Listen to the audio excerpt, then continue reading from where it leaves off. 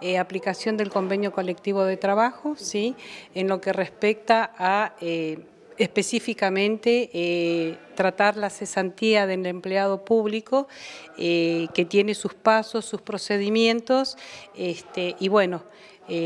saber manejar a la hora de esta instancia eh, con los procedimientos correctos. ¿no? Esta capacitación comenzó hoy, está prevista hoy, ya tuvimos una primera parte hoy a la mañana, esta sería la segunda parte del día de hoy y eh, mañana estaría previsto el cierre en el horario de 9 a 14 horas. El Consejo le dio la posibilidad a todo aquel que quería este, participar de esta capacitación, así que tenemos miembros de junta, tenemos directores de diferentes áreas, docentes y no docentes, porque bueno, como te dije, todo tienen personal a cargo y es bueno que nos instruyamos, como dijo ella, para eh, tratar de saber en qué consiste y la temática o la idea es diligenciar transparentar. Entonces, eh, la capacitación es importante, no ocupa espacio, como dicen, así que bueno, bienvenidos y gracias a toda la gente que realmente participó, que realmente fue un número importante. El Tribunal de Disciplina, que está creado desde el año 83 eh, y con Alicia ha tenido su auge en esta oportunidad, teniendo en cuenta eh, la importancia que tiene, porque el, tribunal está creado, este, y lo dice la Constitución y por la ley 1615.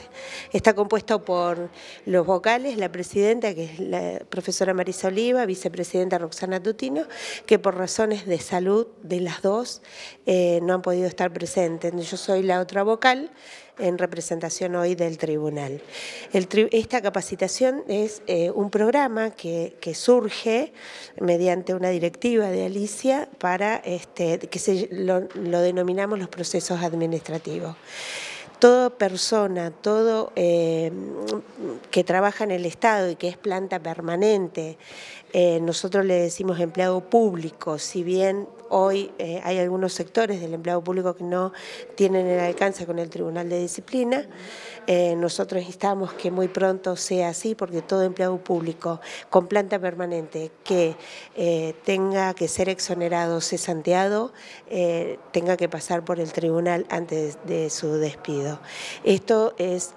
un organismo único en la Argentina, único, y es loable decir decirlo, para eh, decir que es un organismo que tiene el Estado provincial donde de alguna manera garantiza los derechos del empleado público. Eh, y la transparencia, que es lo que Alicia ha implementado en estos últimos años.